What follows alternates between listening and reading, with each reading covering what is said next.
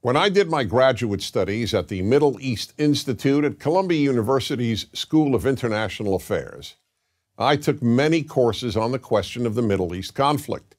Semester after semester, we studied the Middle East conflict as if it was the most complex conflict in the world, when in fact, it is probably the easiest conflict in the world to explain. It may be the hardest to solve, but it is the easiest to explain. In a nutshell, it's this one side wants the other side dead.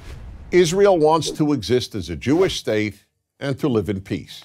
Israel also recognizes the right of Palestinians to have their own state and to live in peace. The problem, however, is that most Palestinians and many other Muslims and Arabs do not recognize the right of the Jewish state of Israel to exist.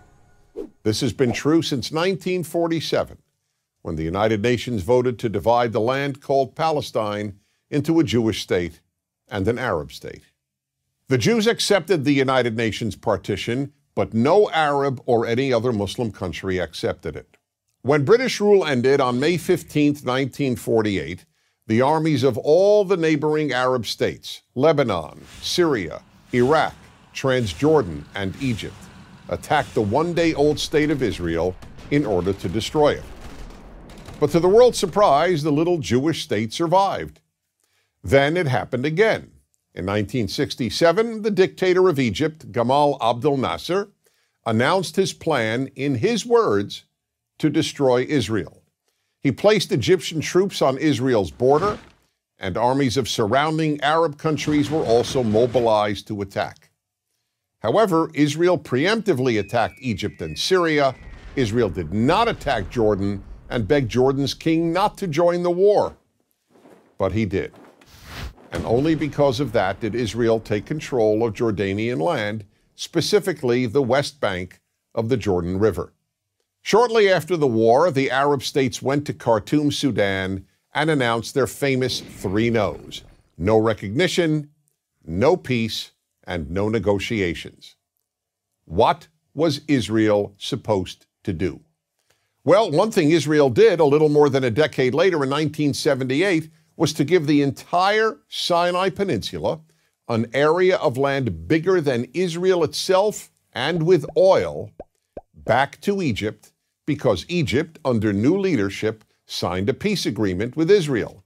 So Israel gave land for the promise of peace with Egypt, and it has always been willing to do the same thing with the Palestinians. All the Palestinians have ever had to do is recognize Israel as a Jewish state and promised to live in peace with it.